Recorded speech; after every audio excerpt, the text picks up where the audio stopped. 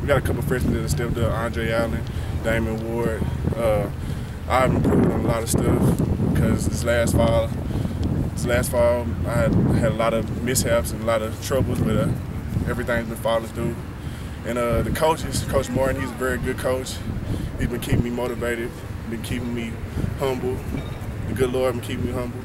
And uh, uh, it's pretty much pretty much it. Uh, Betty Hall, Hall is a good player. Brian Naguar, he's been a good player. He's been stepping up, been staying focused. And I just, I just, I'm just coming out here this, this far to be like a captain on the defensive line. And that's that's my whole goal to become a captain on the defensive line and just maintain and stay humble. The defense as a whole, we are coming together as a team. We're becoming more of a family. Everybody seems like they're more structured. They're more, they're staying together. They're listening.